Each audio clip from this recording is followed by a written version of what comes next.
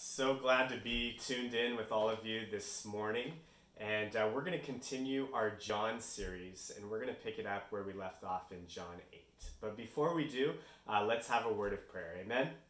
Uh, dear Heavenly Father, thank you for this morning, God. Thank you for your blessings, for your word, for your teachings. Thank you for uh, Ryan for just sharing his heart, uh, just just uh, singing powerfully, reminding us to of all the incredible things you've done for us, God. So super grateful to be here with everyone, uh, though not physically, uh, but spiritually, God. Uh, please uh, work through me in a powerful way, God. Just help me to preach your word uh, as you uh, want me to preach your word, God. We love you. We thank you. We pray this all in Jesus' name. Amen. Awesome. So, a little recap from last week. Last week, we looked at John 7 uh, where we have Jesus at the Festival of Tabernacles. And what is the Festival of Tabernacles but a time of celebration, uh, reminding the Israelites of their desert march, of their 40 years in the desert, and how uh, God was with them during that entire time. So, uh, this was one of the most anticipated festivals of the year, and people were excited. And uh, every every single night uh, to uh, basically symbolized uh, God guiding the people at night with the with the fire. They would they would uh, light up uh, Jerusalem with all sorts of lights. So imagine this. It's like in today's terms, imagine the day after Christmas. And the day after Christmas, what happens? We take the tree outside. Uh, we start taking the lights off. We start uh, putting the wrapper in paper and we throw it away. And it's kind of a sad day. You're like, okay, well, it's all over. Now, or what are we going to do? And, uh, and, and, and here we see Jesus meeting at the temple courts like he did every single day, teaching uh, in the synagogues. And uh, the, the focus for today is we're really going to focus on uh, the next three chapters chapter 8, chapter 9, and chapter 10. And there's an incredible theme within here uh, and the title of my lesson today is simply The Light of the World. So, for the sake of time, we're not going to read text by text. We're going to focus in and hone in on a, on a couple of scriptures. In the beginning of chapter 8, where we left off from last week, we see Jesus teaching. And what do the Pharisees do? They actually uh, catch a, a woman in the act of adultery and they bring her before Jesus. And why do they do this? They do this to try to catch Jesus because in the Mosaic law, if someone was uh, to commit adultery, they were to be stoned to death. Um, so they wanted to see what is Jesus going to do. He's either going to say, yes, you need to stone this woman to death, or uh, not to. Either way, they were going to try to catch Jesus here. But what does Jesus do? Jesus Jesus ignores uh, what what their question, and um, it's interesting too. You see the the Pharisees' motives because they just brought the woman. They didn't bring the man. Uh, and and in, in the law, both would be brought forward and both would be stoned to death. And and essentially, Jesus says, uh, you know, who the anyone who is without sin be the first one to throw the stone. And he sits there and he's writing on the ground. And a lot of scholars and historians believe that Jesus was actually writing accusations of these hidden sins of uh, these Pharisees. And as they saw them, they left one by one by one. And what does Jesus say to the woman? Woman, who, who stands here uh, to condemn you?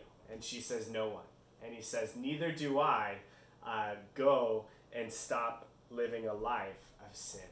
And to see, you know, in the same way, uh, we can be harsh with people that sin, right? We can be like, oh, that person over there, they're sinning. I see their sin. And why do we act like that? Because honestly, we often see our sin on other people. But to see God's heart, God's heart is to forgive that sin, to call us to repentance, to live a new life, and to uh, raise to a new life with Jesus. Amen? So we're going to pick it up here in verse 12 and uh, chapter 8 of John. And the Bible reads, When Jesus spoke again to the people, he said, and reminder here, the lights are coming down. The Festival of Tabernacles is over. And Jesus says, I am the light of the world. Whoever follows me will never walk in darkness, but will have the light of life. Wow. And we think about that. My first point today is turn on the light. And I love this. You know, uh, here God was with the Israelites in the wilderness, being that, that pillar of fire guiding their way.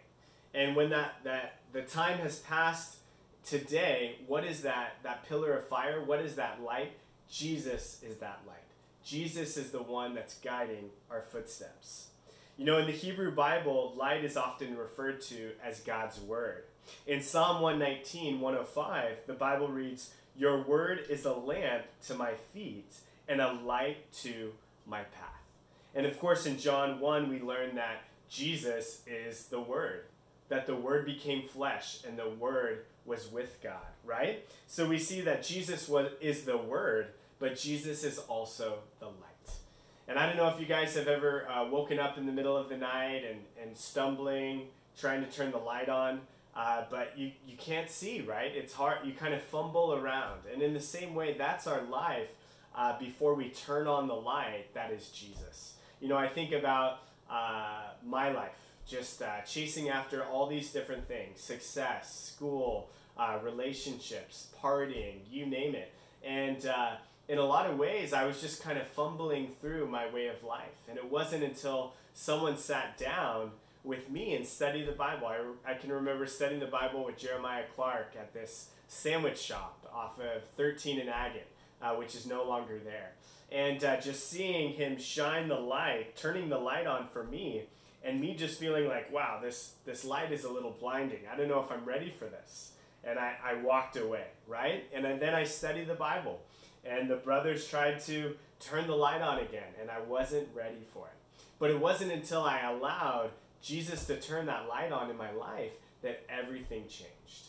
That I allowed Him to guide my footsteps and really change my life. You know, as it says here in the scriptures, when we follow Jesus, we walk in the light and no longer walk in the darkness. So, again, my first point is we got to turn the light on and keep the light on. Amen? Even during this time of, of quarantine. So the question I have for all of you is are you walking in the light? Are you keeping the lights on? You know, is Jesus still guiding your footsteps? Or have you allowed this pandemic, have you allowed this situation to guide your thoughts, your emotions, your decisions? And my inspiration to you guys is uh, something that Paul says to the Philippian church in Philippians 4 7. Paul writes, And the peace of God, which transcends all of understanding, will guard your hearts and your minds in Christ Jesus. So, again, when we keep the lights on, uh, Jesus is in control. That we can have a peace that goes beyond understanding, and that we can be that light to others where things seem pretty dim. Things seem, things seem pretty dark. Amen? So, from there, uh, Jesus is met with opposition uh, which are the, the Pharisees, the blind guides of the day, because Jesus is the light, you know, and when you turn the light on, uh, do you, it's, you clearly see that there is light, right? And in the same way, Jesus had proved himself to be the light. But who are the Pharisees? They were these blind guides. That they wanted, they wanted uh, their own light. They wanted to do it their own way. And uh, we see this back and forth uh, discussion of the Pharisees disagreeing with Jesus. First, they say, Here you are appearing as your own witness, your testimony is not valid. In other words, uh, you need two people to testify in order for your testimony to be valid. And Jesus, of course, re- uh, reminds them, well, you know, uh, I don't I don't go by human standards as I am God, God in the flesh, and I am my own. I testify for myself, and then the Father testifies for me. And then he says, Where I am going, you cannot go. And then they say, Well, where are you going? Or who is your Father? Who is this Father? Show me your Father. And Jesus reminds them, You don't know the Father. Because the Father, if you knew the Father, you would listen to me. And I'm reminded that if when we turn on the light, when we turn on the light, which is Jesus, we get to know who God is. We get to know who the Father is uh, that we get to see uh, God's heart. That since the beginning of time, God has always desired for us to be in a relationship with Him. Amen? So we see them kind of banter back and forth. and they say, Where is your father? Uh, or uh, who's trying to, uh, where are you going? Who's, are you going to kill yourself? And of course, these are jabs at, at Jesus. And Jesus responds, You guys, you are of the of beneath. You are of this world. I am from above. And because of that, you will die in your sin. And again, they say, Who are you? And Jesus reminds them, I am who I've already told you who I am. I am the Messiah. I am uh, the Son of Man. I am the Father. You know, we see those I am statements time and time again. And we pick it up here in verse 27. They did not understand that he was telling them about his Father. So Jesus said, When you have lifted up the Son of Man, then you will know that I am he, and that I do nothing on my own, but speak just what the Father has taught me. The one who sent me is with me. He has not left me alone, for I always do what pleases him. Even as he spoke, many believed him. And what is Jesus talking about? Those, those uh, who lift up the Son of Man. He's talking about the crucifixion, that Jesus is going to be lifted up on the cross. And at that time, people are going to know this was the Son of God, that this is the Messiah that died for our sins. And what happens? The, the, the uh, temple uh, curtain splits in half. Uh, these dead people start coming out of the ground and, and people start res- responding, surely this was the Son of Man. And we pick it up here in verse 31. To the Jews who had believed him, in other words, that, that actually believed what Jesus was saying was true, he says, If you hold to my teaching, you are really my disciples. Then you will know the truth, and the truth will set you free. Wow. And I love this scripture because it's one thing to believe. That's the beginning, right? We have to have faith in Jesus. But it's one thing to intellectually understand who Jesus is, and it's another thing to put that faith into action. And that's what Jesus is calling us to do as his disciples, as Christians. To, to not only uh, believe in Jesus, but to abide in his word, to follow his teachings. And when we do that, we will know the truth and we will be set free. What are we being set free of? Our sin. The life of sin that we left and no longer live in, but now we live for Christ. Amen?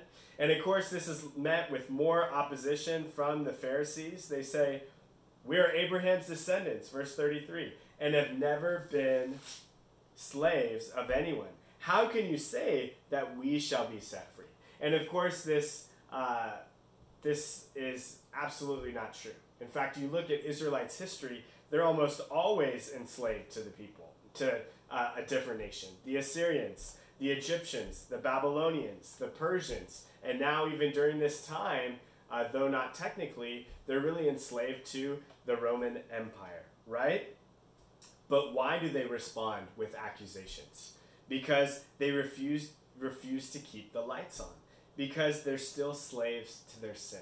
They're slaves to their pride. They're slaves to their self righteousness. You know, in James 1, verse 22, it says, Do not merely listen to the word and so deceive yourselves, but do what it says. And in the same way for us, in order to keep the lights on, we have to listen to what God is telling us, but we need to put it in practice. Amen? In verse 48, the Bible reads The Jews answered him, Aren't we right in saying that you are a Samaritan and demon possessed? Again, they're throwing out insults. Before that, said, We are not Ill- illegitimate children. In other words, they were calling Jesus an illegitimate children because they didn't believe that Jesus was born of the Virgin Mary, that it was an illegitimate child. But he says, Verse 49 I am not possessed by a demon, said Jesus, but I honor my Father, and you dishonor me. I am not seeking glory for myself, but there is one who seeks it, and he is the judge. Very truly, I tell you, whoever obeys my word will never see death. Wow. And we're reminded when we turn the lights on and we keep the lights on and we abide in God's word, when we obey his commands, that the lights are going to stay on that we don't have to worry about uh, just this life, but but that we have all eternity to spend with God. Amen. So we're going to pick it up here in John chapter 9. So again, the first point is turn the lights on. The second point is shine the light. We pick it up here in verse 1. And the Bible reads, As he went along, he saw a man blind from birth. His disciples asked him, Rabbi, who sinned, this man or his parents, that he was born blind?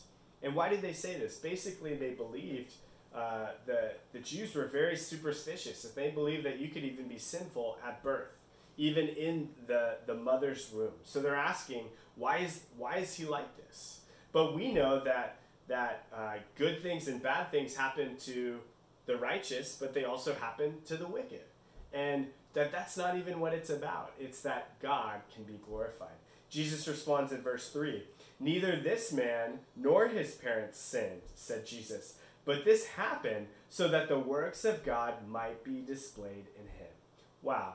And I think about that for us too. You know, in the same way we can look at our circumstance or this this pandemic, this quarantine. What, what is happening? God, why am I losing my job? Why am I uh, struggling about finances? Why do I have to have social distancing? Why, why, why, why, why? And really the answer is so God can be glorified.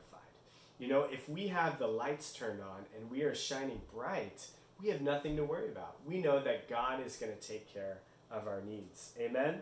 And the purpose of all of this, that God is working for the good of, of those that love Him, that the purpose of this is for God to be glorified. Amen? Verse 4, it says, As long as it is day, we must do the works of him who sent me. Night is coming when no one can work. While I am in the world, I am the light of the world. Wow. And I think about that, and it's just a reminder as long as it is day, we must do the work of him who sent me. What happens during the day? We see the sun, the, the light is shining, right? We got to ask ourselves, what are we doing with the daylight? Are we making the most of every opportunity? You know, this, uh, this situation is very different than anything we've ever been in. This is unprecedented times where uh, businesses are being shut down. We're asked to be staying in our homes unless getting our groceries or, or essential needs. And uh, we got to ask ourselves, are we, are we shining the light? You know, are we still digging into our scriptures with this extended amount of time? Are we, are we using it for God's glory? You know, are we using social media to share our testimony, to share our lives with friends, family, and the people that we come in contact with? You know, this is a credible opportunity for us to do so. In verse 6, after saying this, he spit on the ground, made some mud with the saliva, and put it on the man's eyes. Go, he told him, wash in the pool of Siloam. This word means sent. So the man went and washed and came home seeing. Wow. So get this. This is one of the most interesting uh, miracles that Jesus performs. And he essentially he spits on the ground. He picks up some dirt. Uh, and of course, as men and women, we come from the dirt, right? We come from the God, the ground. That God made us out of the ground, and He takes that and He makes some, He makes some uh, mud and He puts it on the man's eyes, right? And uh, at the same time, this man has to believe that Jesus can heal him.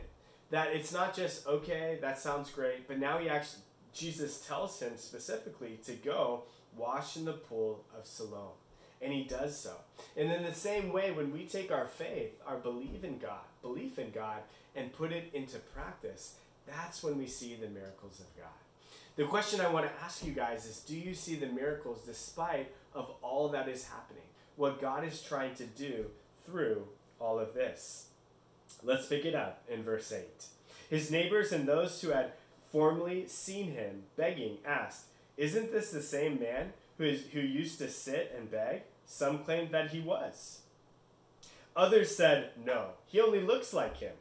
But he himself insisted, I am the man.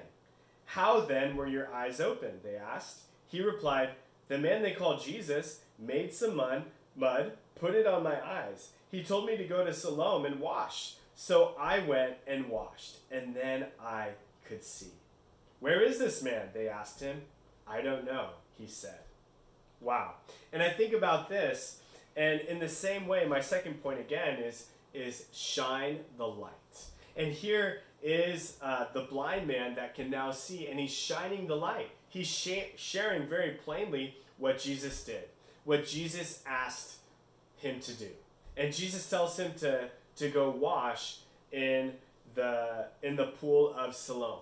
And in the same way, what does Jesus ask us? Jesus says, Go and make disciples. Baptize them in the name of the Father, the Son, and the Holy Spirit, and teach them to obey everything that I have commanded you.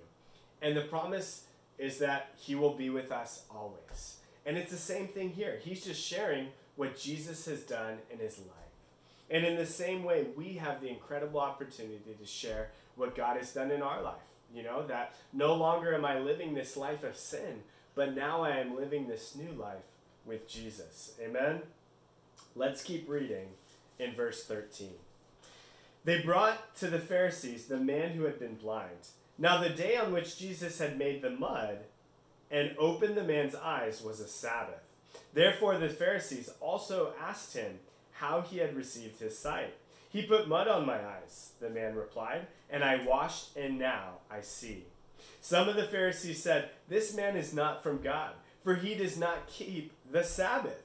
It's interesting how Jesus just performed this miracle for the t- first time ever, never recorded in the Old Testament, not with any of the, the, the prophets uh, or, or anyone, was a man that was born blind ever healed of his blindness.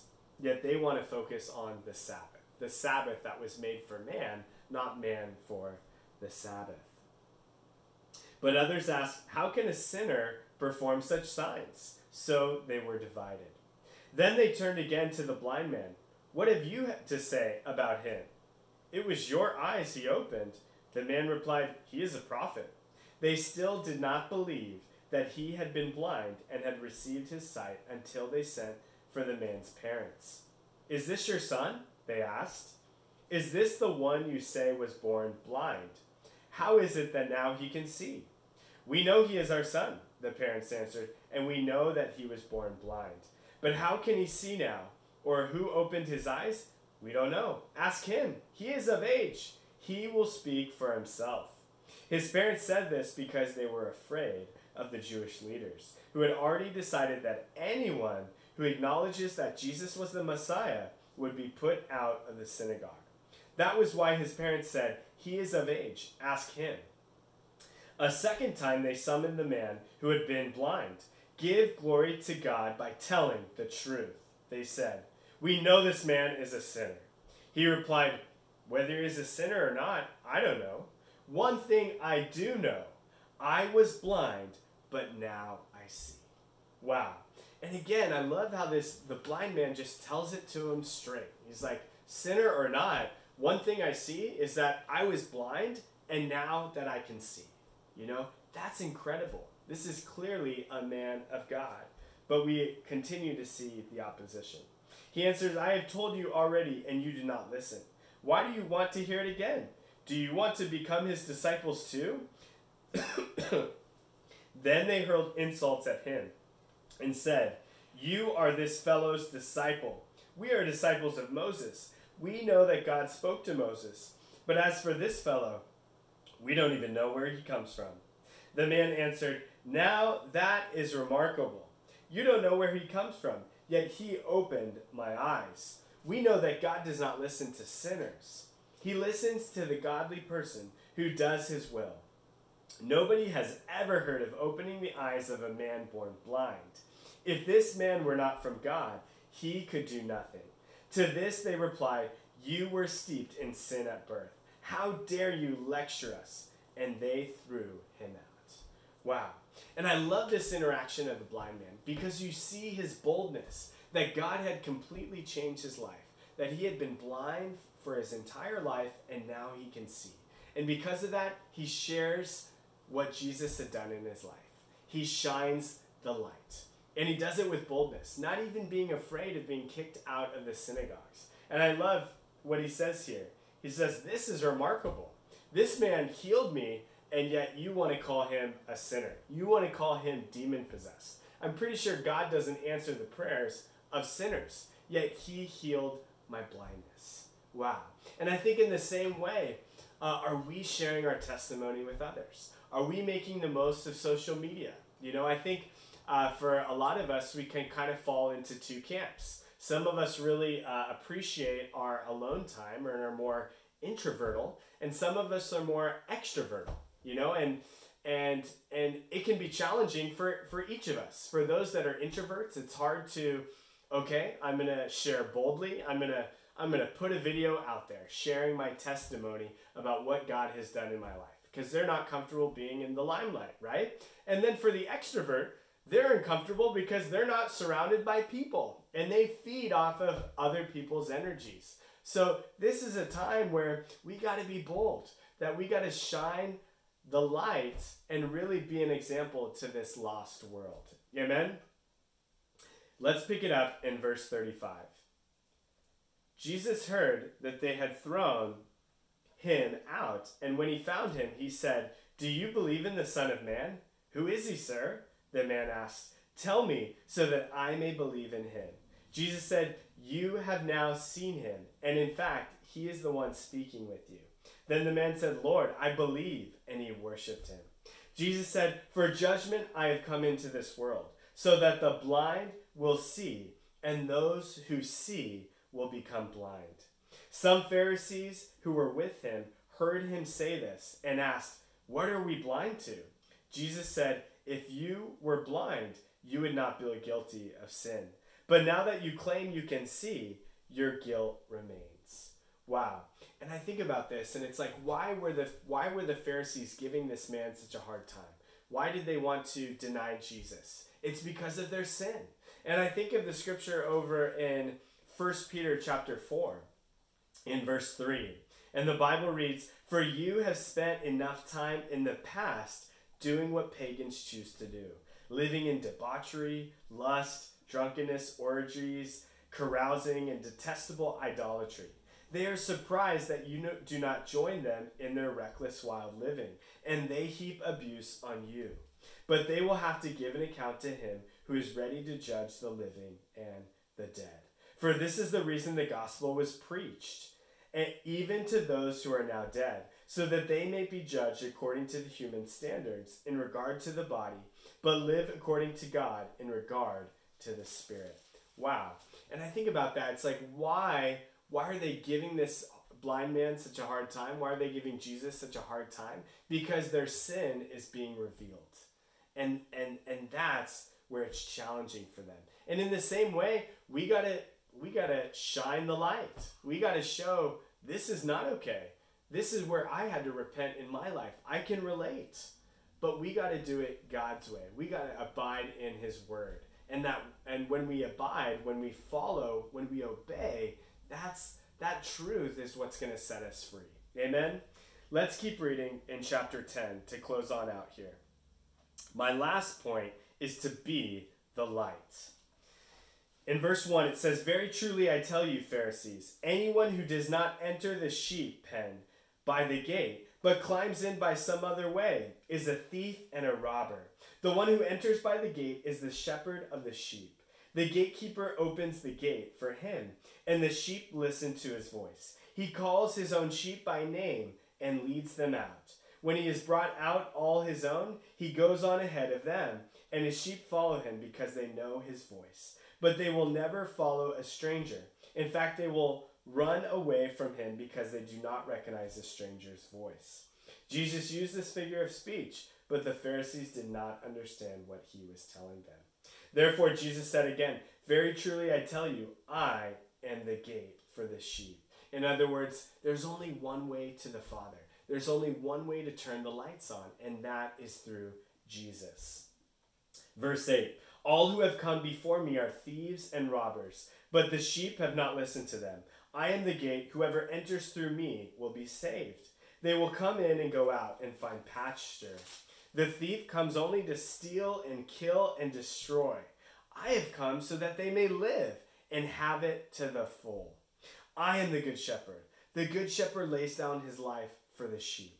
The hired hand is not the shepherd and does not own the sheep. So when he sees the wolf coming, he abandons the sheep and runs away.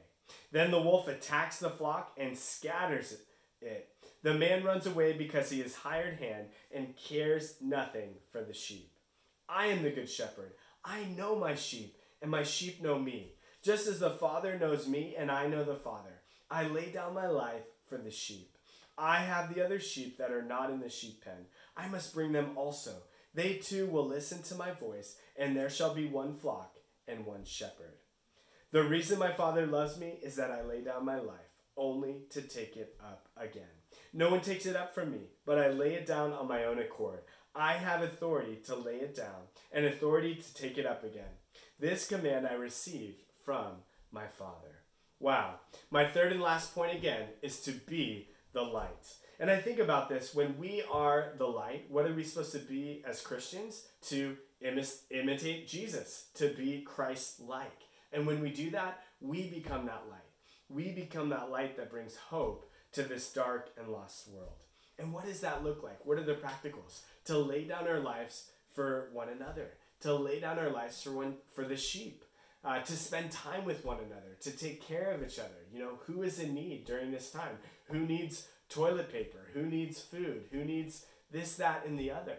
You know, uh, are we are we uh, encouraging each other to get into the Bible, to go to God in prayer? You know, do we notice when the wolf is coming? Do we say, bro, don't go over there? Sis, don't go over there. There's a wolf in sheep's clothing. Or that's poison. Don't take that. Do we know the sheep and do the sheep know me? Are we gut level honest with where we at, where we're at? Do people know the good, the bad, and the ugly of our lives? And lastly, do we lay our lives down? So in closing, guys, let's turn the light on and keep the light on, which is Jesus. Let's shine that light to show people the truth and be that light, be that example. So with that said, let's go ahead and uh, be reminded of what God has done for us, that Jesus is that light. Let's be reminded of what Jesus did on the cross as we take communion, the, the bread that represents the body that was given up for us, and the blood that was shed on the cross. Amen? So let's go to our Father in prayer. Uh, dear Heavenly Father, thank you for today. Thank you for your blessings, for your word, for your teachings. God, thank you for being the light of the world. Thank you for just being a guide, showing us uh, how to live our lives in a righteous manner, how to follow in your footsteps, Father. God, thank you for the cross. Thank you for uh, taking on our sin so that we may be free, that we may be forgiven. Father, we love you, we thank you, and we pray this all in Jesus' name. Amen.